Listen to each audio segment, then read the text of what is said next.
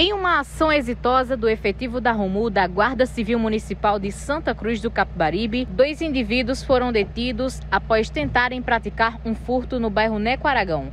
Para saber mais detalhes a respeito dessa situação, eu converso com a GCM Jéssica, que vai nos repassar as informações. Jéssica, boa noite. A princípio, como a equipe conseguiu lograr êxito na captura desses dois elementos que estavam importunando ali é, cidadãos de bem?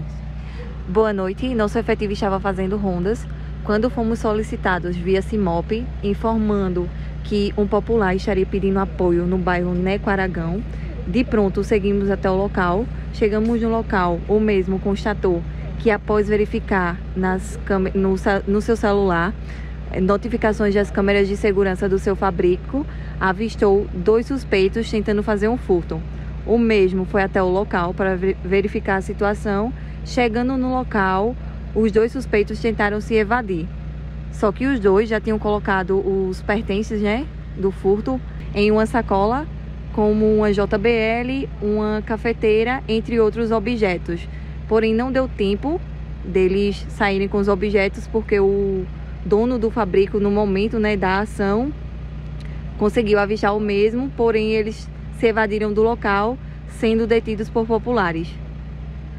Jéssica, durante a ocorrência, enquanto vocês estiveram lá em contato com, com os indivíduos, o que eles chegaram a ligar para a guarnição? Os mesmos, eles informaram que realmente fizeram esse furto. Tentaram, né, fazer o furto. Durante a ocorrência, foi possível constatar também se eles já são conhecidos por parte da guarnição, por parte do policiamento, com antecedentes criminais?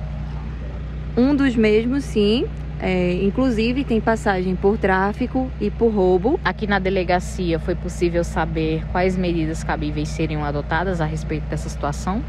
Estamos aguardando o procedimento que o delegado de polícia irá adotar. Ô Jéssica, desde já nossa equipe de reportagem parabeniza o efetivo da Guarda Civil Municipal de Santa Cruz do Capibaribe, que diuturnamente está trabalhando e tirando de circulação pessoas envolvidas com o mundo do crime, não é verdade? E que parte desse trabalho também é exercido com a participação da população que contribui através de informações. Exatamente, né? A gente pede à população que qualquer situação ligue para 153 da Guarda Civil Municipal, que de pronto iremos atender.